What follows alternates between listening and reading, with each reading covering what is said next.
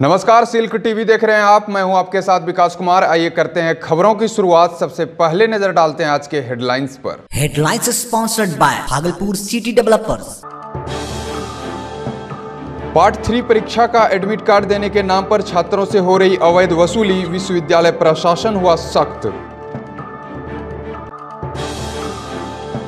भागलपुर के डीआरडीए सभागार में जिला स्तरीय समन्वय समिति की हुई बैठक। डीएम प्रणब कुमार ने ऋण संबंधी कार्यों में तेज़ी लाने का दिया निर्देश। बिजली कटौती की समस्या से परेशान लोगों में दिखा आक्रोश। मुख्य सड़क मार्ग को घंटों किया जाम।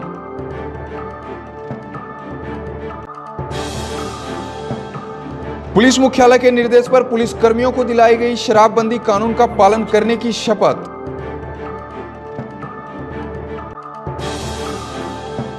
और जन समस्याओं को लेकर राजद कार्यकर्ताओं ने दिया धरना, पूर्व सांसद ने मुख्यमंत्री पर कसा तंज। और अब खबरें विस्तार से। तिलका मांझी भागलपुर विश्वविद्यालय में स्नातक पार्ट थ्री की परीक्षा 25 जून से शुरू होने जा रही है। परीक्षा को लेकर विश्वविद्यालय प्रशासन ने सख्त दिशा निर्देश जारी किया है। वहीं एडमिट कार्ड के नाम पर अवैध वसूली का मामला सामने आया है। सोमवार को भागलपुर के महादेव सिंह कॉलेज के छात्रों ने पार्ट थ्री के एडमिट कार्ड देने के नाम पर अवैध उगाही का आरोप कॉलेज के कर्मचारियों पर लगाया। वहीं मामले की पड़ताल करने विश्वविद्यालय रजिस्ट्रार कर्नल अरुण कुमार सिंह मौके पर पहुँचे और कर्मचारियों की जमकर क्लास लगाई। महादेव सिंह कॉलेज के वर्सर विभू कुमार राय ने कहा कि छात्रों से अवैध वसूली नहीं की गई, जबकि प्रतिकुलपति प्रोफेसर राम रतन ने दोषी पर कार्रवाई करने की बात कही। देखिए कोई भी काम हो कॉलेज में, सभी चीज़ में पैसा लगता है। जैसे एडमिशन कराना हो, अगर एडमिशन कराने में अगर कॉलेज का चार्ज रसीद काट करके बारह सौ रुपये का दे रहा है तो कॉलेज तेरह सौ रुपया लेती है। आज भी जो है एडमिट कार्ड के- नाम पर जो है, तीस रुपया अवैध वसूली किया जा रहा था। नहीं, कोई पैसा नहीं ले रहा है कहीं भी। ऐसा नहीं है कि एडमिट कार्ड तो लड़के जब, क्या कहते हैं फॉर्म भरे हैं, विश्वविद्यालय से निर्गत हुआ है, उनको क्या कहते हैं, दिया जाएगा। भीड़ है।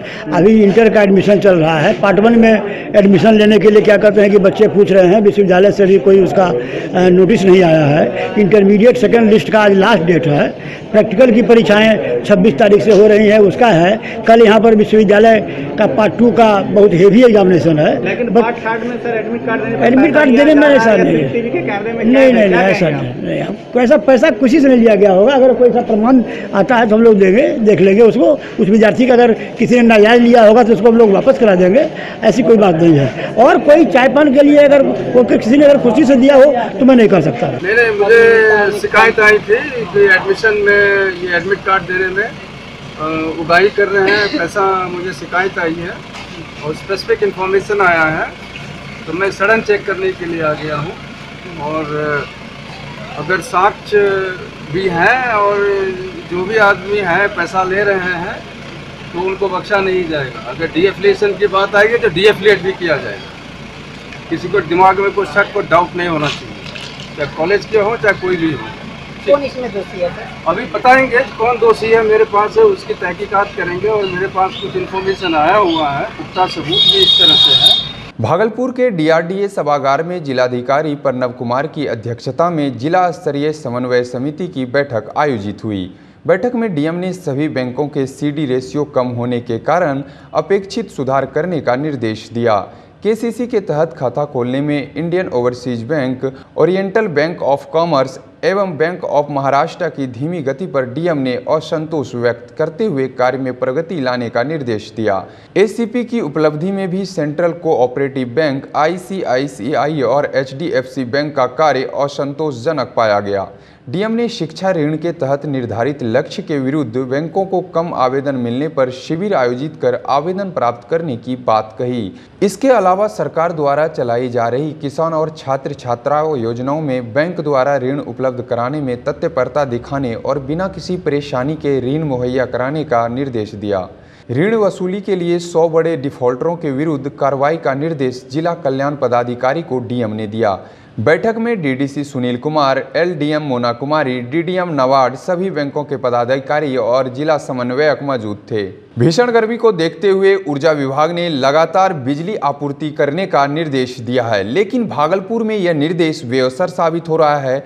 रविवार की रात 33 केवीए लाइन में फॉल्ट आने के कारण मायागंज, बरारी और जेल फीडर की आपूर्ति पूरी तरह ठप रही।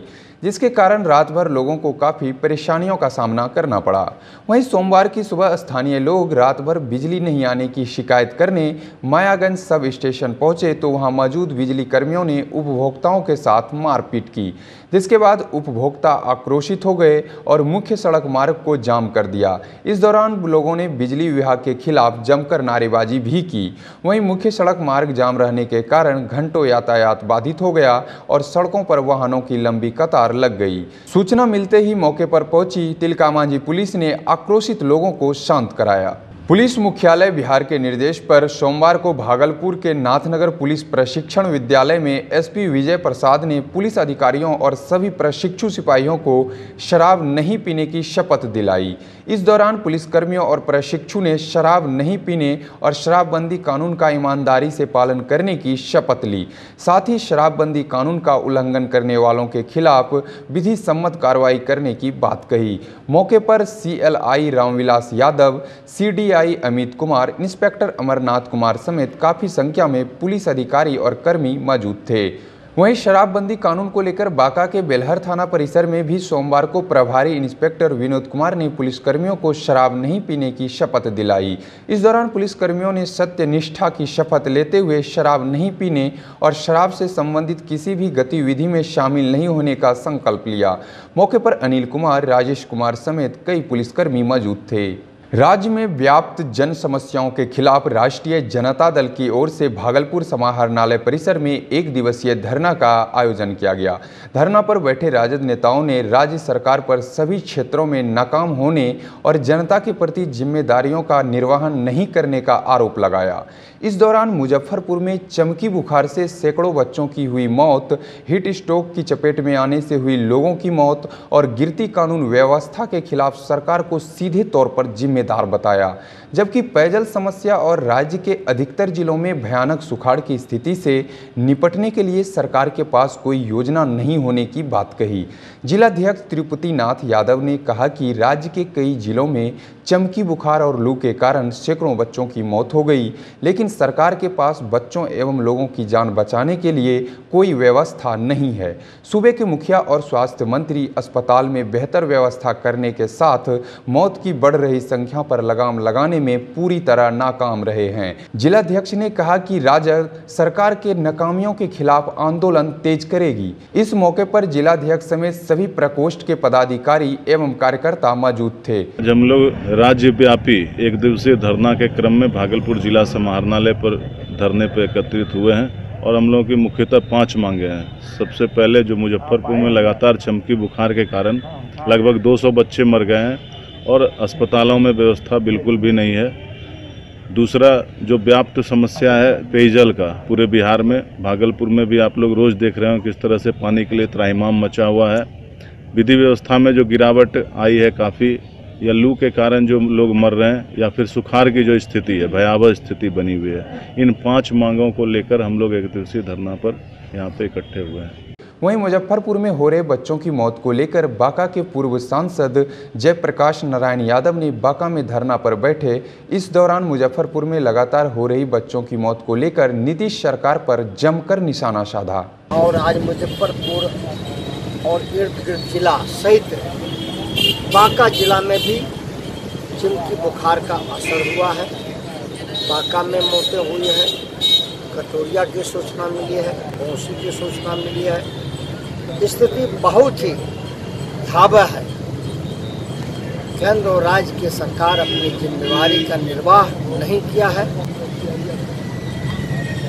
हम लोग की जिम्मेवारी होती है कि हम केंद्र और राज्य सरकार जो कुंभ करने नींद में सोई हुए है और सत्ता के घमंड में है और आज जो बच्चों का मौत हो रहा है, यह मौत इस सरकार के लिए और इस सरकार के काले कारनामों के लिए वह इनके मौत का कारण बनेगा और जनता इसका जवाब देगी। रुकते हैं एक छोटे से ब्रेक के लिए। आप बने रहिए सिल्क टीवी के साथ।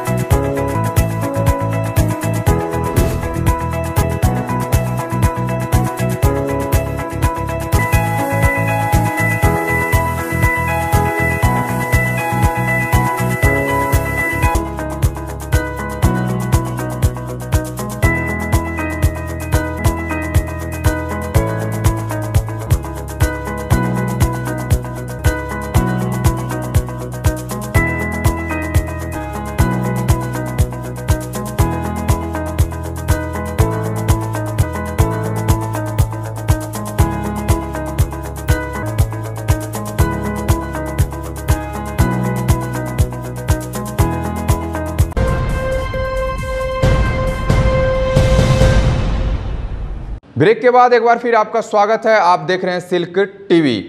जिलाधिकारी प्रणव कुमार ने वर्तमान में जारी गर्मी और तेज धूप को देखते हुए ज़िले के सभी सरकारी, गैर सरकारी विद्यालयों में 30 जून तक, दिन के 11 बजे तक पठन पाठन का कार्य संचालित करने का आदेश जारी किया है।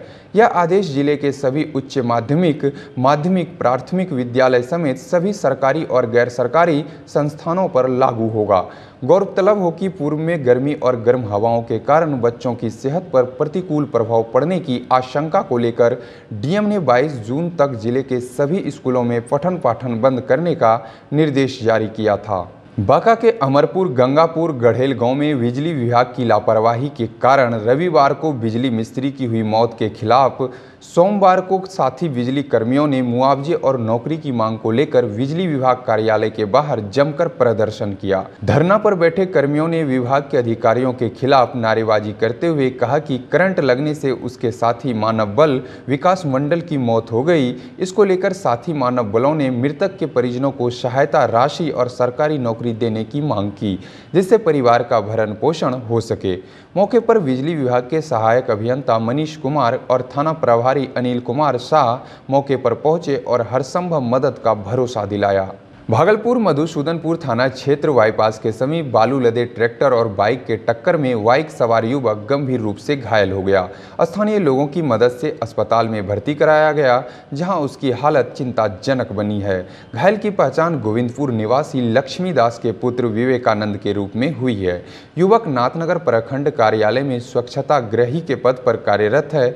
वहीं घटना की सूचना मिलते ही मौके पर पहुँची पुलिस ने ट्रैक्टर को जब्त कर लिया है। वहीं दूसरी ओर किशनपुर बाईपास के समीप अनियंत्रित स्कॉर्पियो ने सड़क किनारे बने डिवाइडर में टक्कर मार दिया। इस घटना में गाड़ी पर सवार तीन मासूम बच्चे गंभीर रूप से घायल हो गए। सूचना मिलते ही मौके पर पहुँची पुलिस ने घायल बच्चों को अस्पताल में भर्ती कराया। घटना को लेकर बताया जा रहा है कि सोमवार की सुबह पंडित टोला निवासी अमरजीत कुमार अपने रिश्तेदार को गाड़ी चलाना सिखा रहा था। इस दौरान गाड़ी अनियंत्रित होकर डिवाइडर से जा टकराया। और अंत में चलते चलते एक बार फिर नज़र डालते हैं आज के हेडलाइंस पर। Headlines sponsored by Bhagalpur city developers part three परीक्षा का एडमिट कार्ड देने के नाम पर छात्रों से हो रही अवैध वसूली विश्वविद्यालय प्रशासन हुआ सख्त। भागलपुर के डीआरडीए सभागार में जिला स्तरीय समन्वय समिति की हुई बैठक। डीएम प्रणव कुमार ने ऋण संबंधी कार्यों में तेज़ी लाने का दिया निर्देश। बिजली कटौती की समस्या से परेशान लोगों में दिखा आक्रोश, मुख्य सड़क मार्ग को घंटों किया जाम।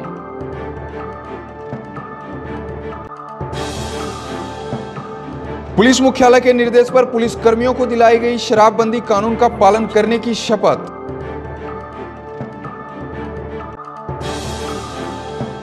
और जन समस्याओं को लेकर राजद कार्यकर्ताओं ने दिया धरना, पूर्व सांसद ने मुख्यमंत्री पर कसा तंज।